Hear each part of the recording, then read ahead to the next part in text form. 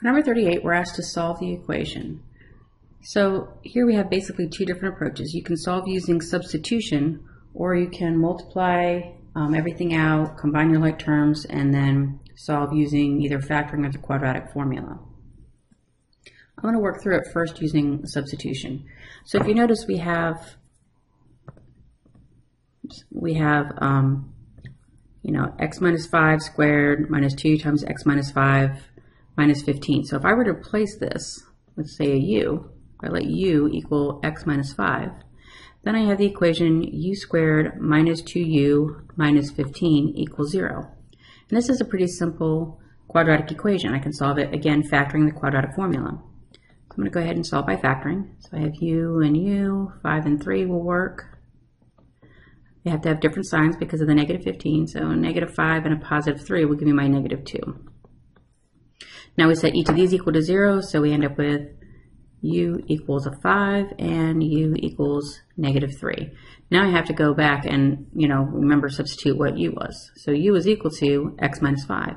So if u equals 5, then x minus 5 equals 5. And likewise, if u equals a negative 3, then x minus 5 equals a negative 3. And now I solve these two linear equations. So adding 5 to both sides, we have x equals 10. And again, over here, adding 5 to both sides, we will get x equals a 2. So I have my two solutions. The nice thing about substitution, um, this was a pretty simple example, but they can be much more complicated, and in which case substitution is a very, very nice way to go. An alternate method for this one here is, like I said, I could go ahead and multiply it out. So I have x minus 5 squared, so x minus 5 times x minus 5. I got to FOIL that, or use the formula. And then negative 2 times x minus 5 minus 15 equals 0. So FOILing will get x squared minus 5x minus 5x plus 25 minus 2x plus 10 minus 15 equals 0. Now I combine my like terms, so we will have um, x squared and then minus 10x, so minus 12x. And then 15 plus 10, I'm sorry, 25 plus 10 minus 15 gives me 20. So plus 20 equals 0. And now I have my equation. It is in terms of x, again, factor or formula. Um, so I'm going to go with x and x. 20, there's a couple options, but 2 and 10 is going to give you back my 12. Um, it's positive 20, so these signs have to be the same. Making them both negative will give me my negative 12x. All right, now set both of these equal to 0, and we have x equals to 2 and x equals to 10. So same answers. Like I said, this particular example, it, it you know, it, it really wasn't a whole lot of work either way.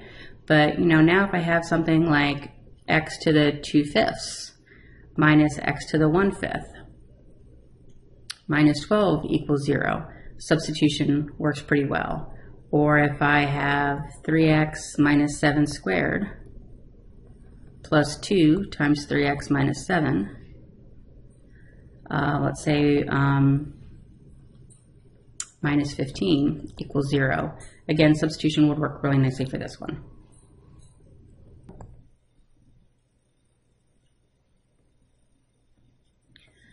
Number 40, solve the equation. In this case here, I have an absolute value equation.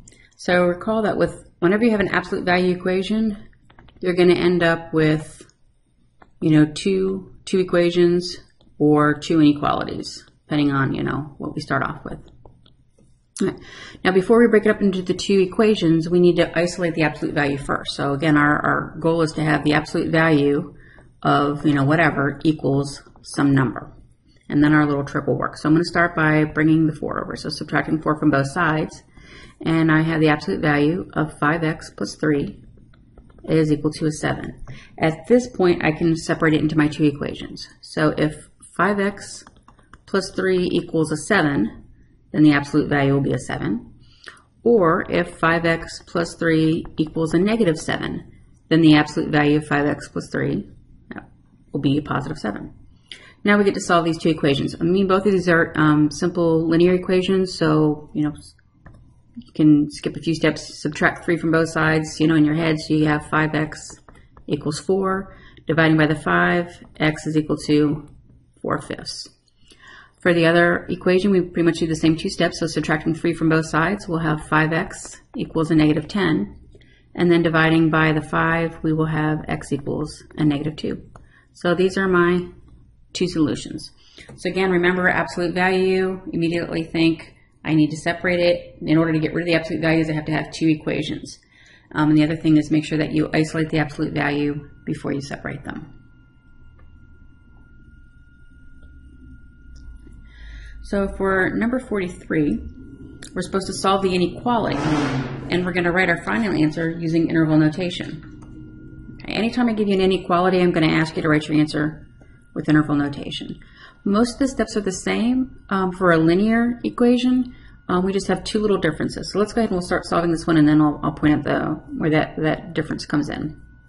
So when I'm solving this here, I look, I notice I want to you know simplify each side first, combine my like terms. So I get a negative 12x plus 12 is less than or equal to, distributing again the negative 3, I get a negative 9x plus 6. Um, and again, since this is linear, x is to the first power, I'm going to bring all my x's on one side, all my constant terms on the other. So when I'm going to add 9x to both sides. And that's going to give me negative 3x. And then I'll subtract the 12 from both sides. So negative 3x is less than or equal to a negative 6.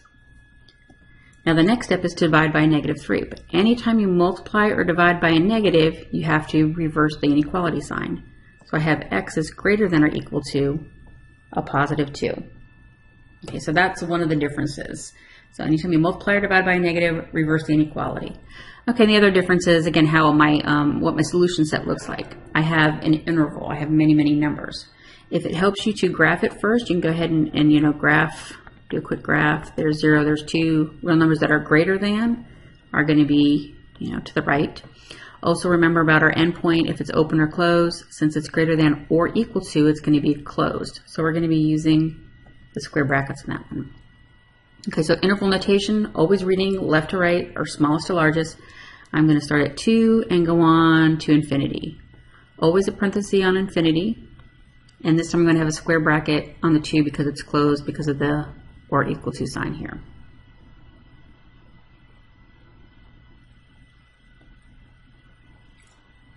Number 47. Greg is opening a car wash. He estimates his cost equation as C equals 9,000 plus 0.09x and his revenue equation as R equals 1.75x, where x is the number of cars washed in a six-month period. Find the number of cars that must be washed in a six-month period for Greg, for Greg to make a profit. Okay, so there's two things I, I, I, need to start with. One, like I said, I am given function, so I want to take a moment just to make sure I understand what it is I have. So we know that the cost is given by C of x. So C is equal to my cost function. And then also that the revenue equation is given by R. So R is going to be my revenue. And then X is going to be the, we're told the number of cars that are washed in a six month period. So number of cars and six months. That might be important because if I look over a two year period, I'm going to have to make some adjustments for that, but six month period. And so then what's the big question?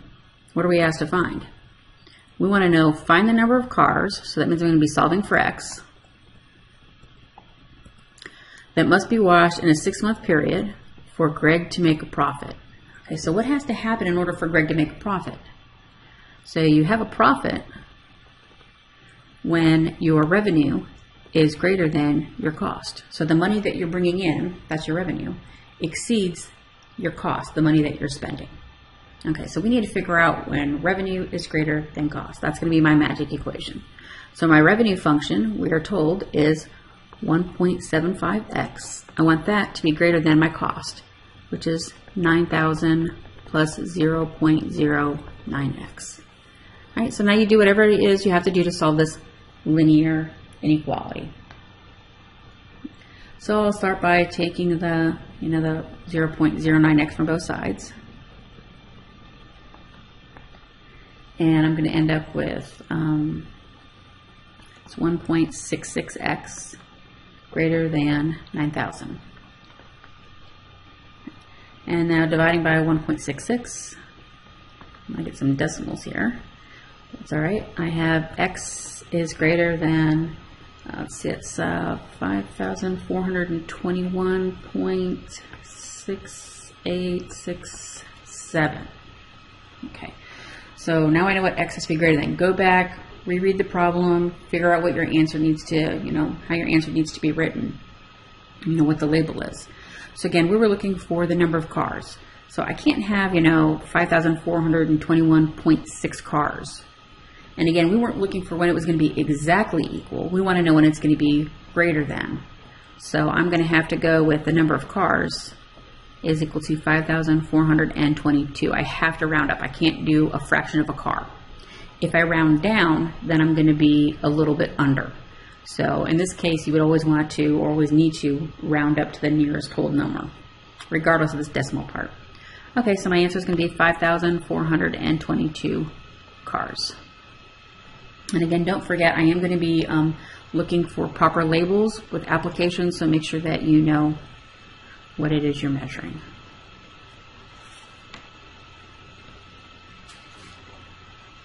Number 50, I am asked to solve the compound inequality. Again, when you're solving inequalities, it's important to make note whether you have a linear inequality or if it is a polynomial or rational, because those are handled very differently. But here, you know, my variable on the x is a 1. This is a nice linear inequality. Now this one also is a little bit different than the others. If you notice I have like two inequality signs, I've got three sides. So this can be handled in two ways. It is always safe to go ahead and break it up because what this means is I need 11 is less than or equal to 3 halves x plus 8 and at the same time, um, sorry, it's 3 halves. 3 halves. So 3 halves x plus 8 has to be less than 23. And I can solve this inequality, solve this inequality, and then my answer is going to be their intersection, or it's both. And that'll work here. Um, and that'll always work on these. But this particular one, I can do all three sides at one time. And I'll, and I'll when we're done with this, I'll show you when we uh, an example of where we could not do that and why it wouldn't work. Okay, so if you're here, if you just look at one half of the, just go ahead and look at one half of the problem, you know. So if I've got, you know, this part here, for now, so let's say I only had this half right here. What would you do first? You'd say, oh, I'm going to subtract 8 from both sides. So the difference is, is we're going to go ahead and subtract 8 from all three sides. So subtract 8, subtract 8, subtract 8. And so now what I'm left with is 3 less than or equal to 3 halves x is less than um, maybe 15. Or if you preferred, you could have gotten rid of the fraction first. Okay. Um, now, if I go ahead and I say, well, what I have to do, um, you could, you know, clear your fractions, multiply through by the 2. Um, some of you will go ahead and multiply by 2 thirds. That's fine. Um, I'm just going to do it one step at a time. So I'm going to go ahead and get rid of my fraction and multiply by a 2. And so now I'll have 6 is less than or equal to 3x is less than or equal to 30. And then my last step is to divide all three sides by a 3. And we'll have 2 is less than or equal to x is, I'm sorry, this is not a less than or equal to this. This one here is just a less than. So it's less than or equal, I'm sorry, it's less than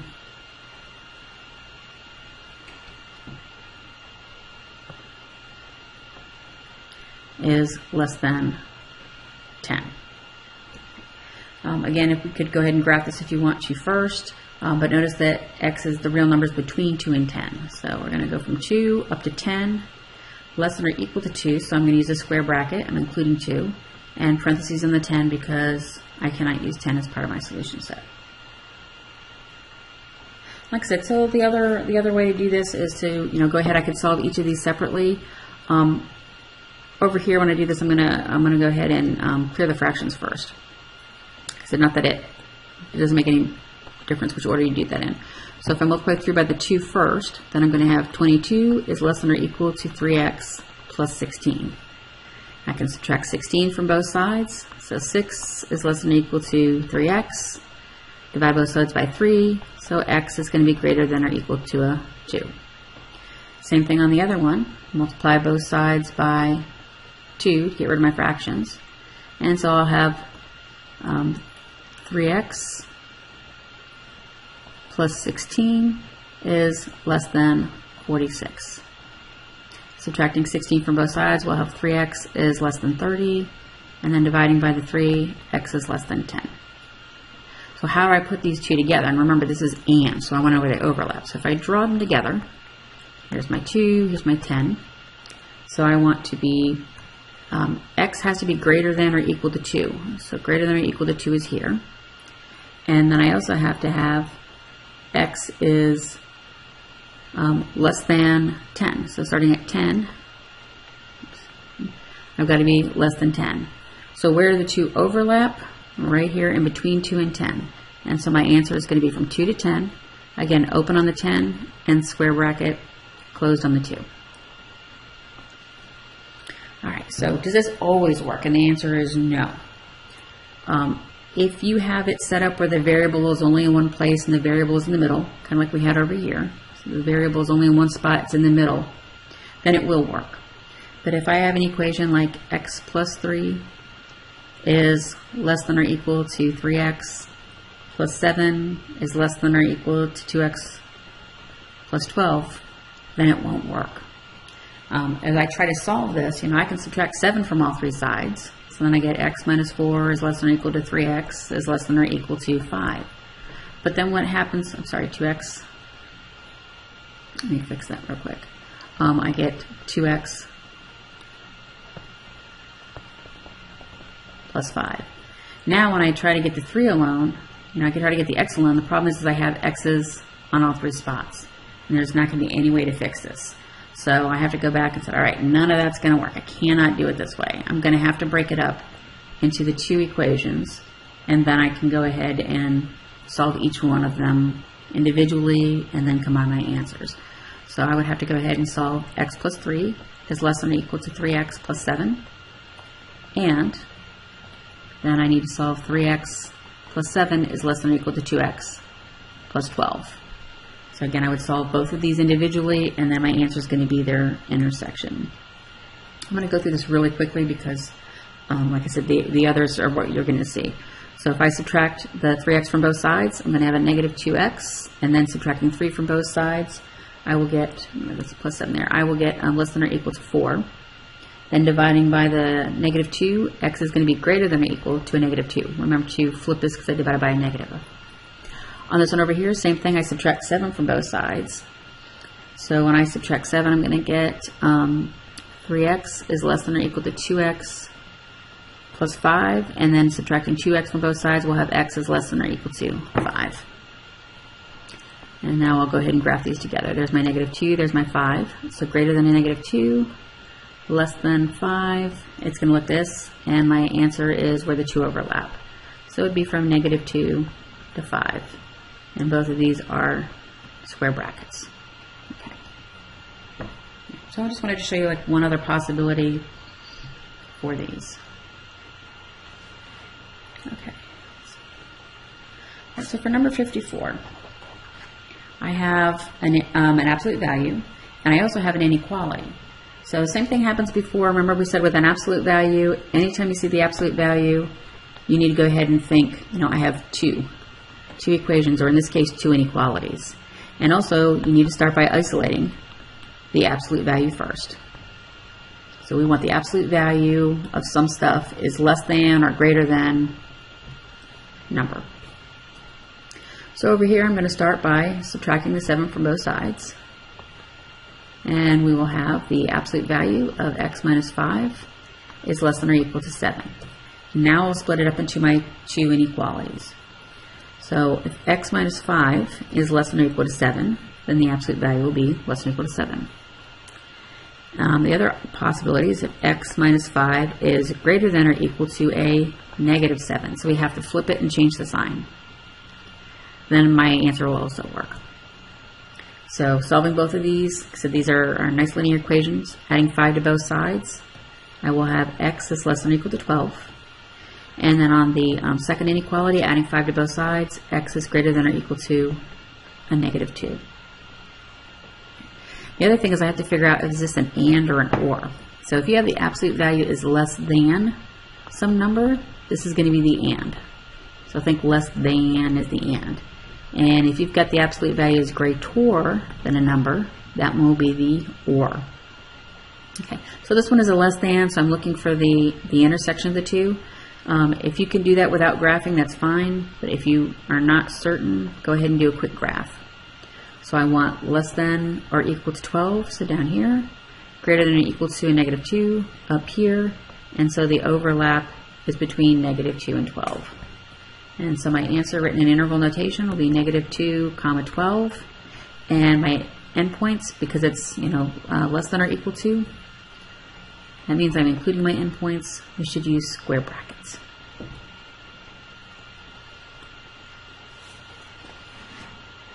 Okay, 59. I have another inequality, but this time notice that it's an x squared. So this is no longer a linear inequality. This is a quadratic inequality. Um, you also might want to think of it as just being a, um, it's non, it's nonlinear. Okay, so with these we had a completely different approach. We said, all right, I need to go ahead and think of this as being a, product or a quotient. So my my my uh, approach is to go ahead and write it, you know, as as factors or as a quotient. So I'm going to go ahead and set this equal to zero, and then I'll factor it. So I got 12x squared minus 11x minus 1 is less than 0.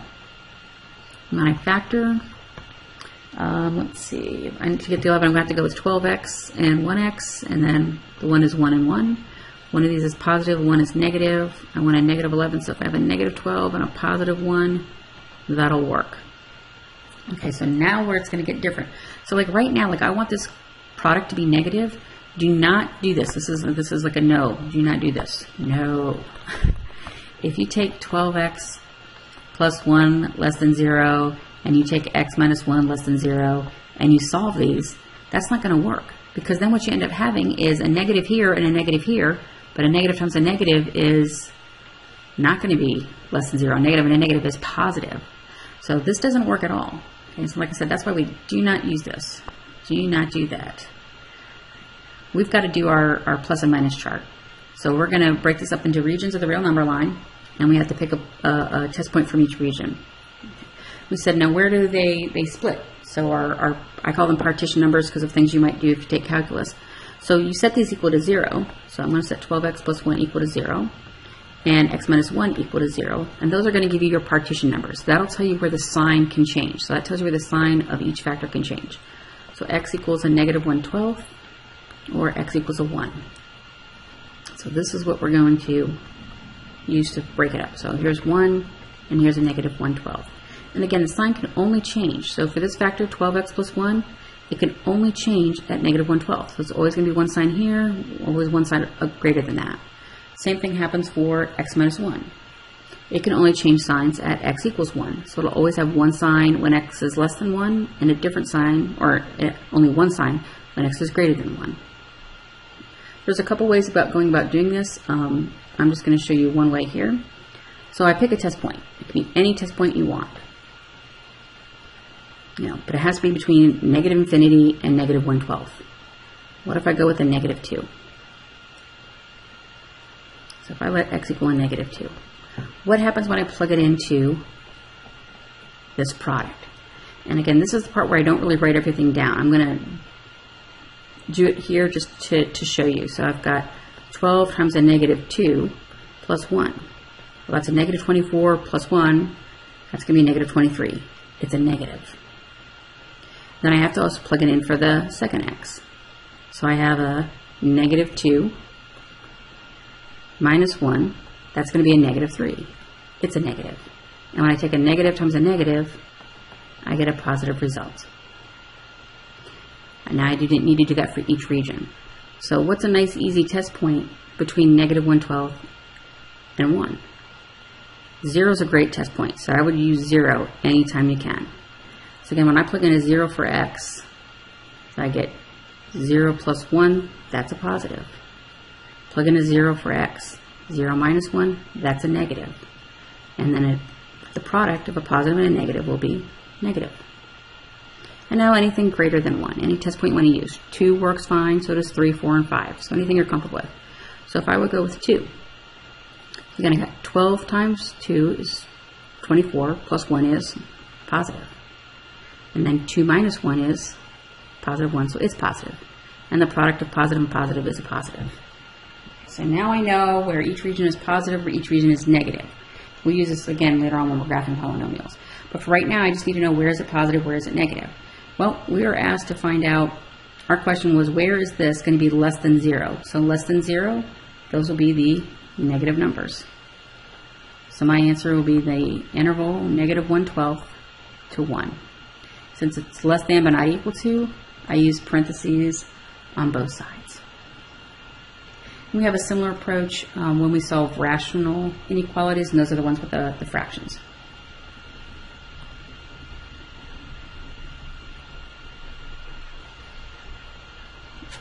Number 60. Okay, so here I have an example of a rational inequality.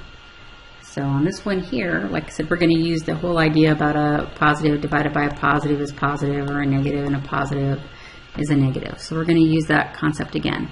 So we are going to have to figure out where is the numerator equal to zero, where is the denominator equal to zero. We need to look at all the factors. Those are the places where the sign can change. So looking at my numerator, I've got 5x plus 3 equals to 0. So solving that for x, I get, um, you know, 5x is a negative 3, so x is a negative 3 fifths. And if you can just do that in your head, that's, that's great. And then I also have 9 minus 3x is equal to 0. So if I bring the 9 over, got 3x equals a negative 9. Sorry, negative 3x equals negative 9, so x equals a 3. So these are going to be my partition numbers. That's how I'm going to break up the real number line. So I have a negative 3 fifths, and I have a positive 3. So the intervals I'm looking at are going to be negative infinity to negative 3 fifths, negative 3 fifths to positive 3, and then positive 3 to infinity.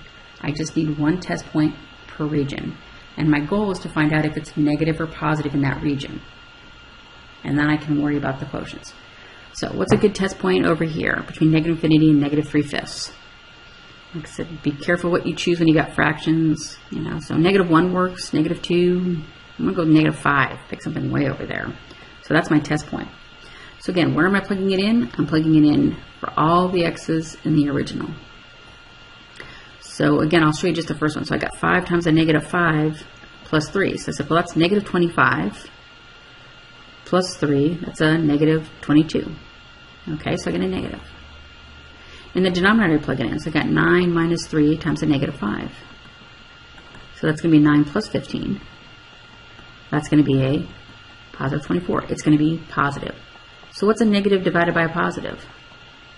It's going to be a negative. So no matter what number I plug in from that interval, I'm always going to get a negative answer. The numbers will change, but it's going to be negative. Okay, a nice easy test point between a negative 3 fifths and a positive 3 is going to be 0. So again, I'm plugging it in the same two places. So 5 times 0 is 0, and 0 plus 3 is a positive. In the denominator, I plug in a 0. So I got 9 minus 3 times 0, so I got 9 minus 0. That's a positive. And a positive divided by a positive is positive. And now for my last one, anything greater than 3, I can use 4, I can use 5. I'm going to go with 4. So plugging in the numerator, I got 5 times 4 is 20 plus a 3, that's positive. Looking at the denominator, plug it in 4, so I got 9 minus 12, that's going to be a negative. A positive divided by a negative is negative. This time I was asked to go ahead and find the ones that were greater than or equal to 0. So greater than or equal to 0 are going to be positive numbers. So I'm looking at just this region right in here. So I'm going to go from negative 3 fifths to positive 3. Now should I use parentheses or square brackets? Well, since it's greater than or equal to, it looks like I should use square brackets. But I'm going to use a parentheses on the 3. And why should I use parentheses here? Why not a square bracket? What happens if x equals 3? If I let x equals 3, then I'm dividing by a 0. And we know that we're never allowed to divide by 0. So I have to go ahead and use parentheses on that endpoint.